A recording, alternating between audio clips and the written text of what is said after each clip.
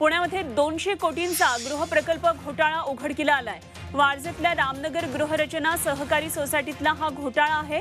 सोसायटीच्या चेअरमन आणि सेक्रेटरींनी मिळून मूळ सभासदांच्या हक्काच्या सदनिका या भलत्याच लोकांना विकून ही फसवणूक केल्याची धक्कादायक माहिती समोर येते बिल्डरच्या मदतीनं तीनशे शहाण्णव सदनिका या ठिकाणी बांधण्यात आल्या होत्या आणि यापैकी दोनशे अठरा जणांकडून रक्कम घेऊन सुद्धा सोसायटीचा चेअरमन अंबादास गोटे आणि गणेश मानेनं इतरांना ही घरं विकल्याची तक्रार नोंदवण्यात आली आहे. या गैरव्यवहार प्रकरणामध्ये वारजे पोलीस ठाण्यामध्ये फसवणुकीचा गुन्हा दाखल करण्यात आला आहे.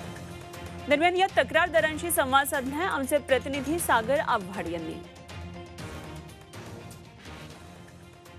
पुण्यातील वारजे परिसरामध्ये असलेल्या रामनगर सोसायटीमध्ये दोनशे कोटीचा घोटाळा झालेला आहे. या संदर्भात बोलण्यासाठी आपल्याबरोबर या सोसायटीचे काही पदाधिकारी आहेत. आपण त्यांच्यावर बातचीत करणार आहोत. त्याचबरोबर माजी आमदार लक्ष्मण माने सर आहेत. सर काय सगळं प्रकरण? हे सगळं प्रकरण आहे ना तर ते भटक्या विमुक्तांच्या पुनर्वसनासाठी किंवा भटक्या विमुक्तांच्या आदर्श वसाहतीसाठी ही जागा महाराष्ट्र राज्य सरकारनं भटक्या विमुक्तांच्या नावानं रिझर्व ठेवली. तीस वर्ष संघर्ष पस्तीस वर्ष झाली आता. हा संघर्ष चालू आहे. आणि आमची जागा ही गोट्यांना पाच एकर सरकारनं दिली. आता सरकारनं कोणाला जागा द्यावी काय द्यावी आम्ही नाही ठरवू शकत.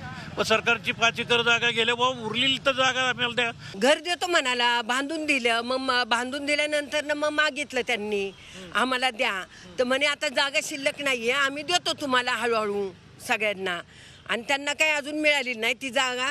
त्या लोक महिलांना मिळाली नाही. त्या महिला म्हटल्या आम्ही आमच्या आमच्या बरोबर आहेत त्या महिला. त्यांना आम्ही आम्ही काय म्हणालो की तुम्हाला नाही ना दिलं त्यांनी तर आम्ही तुम्हाला देतो. तुम्ही काही टेन्शन घेऊ नका.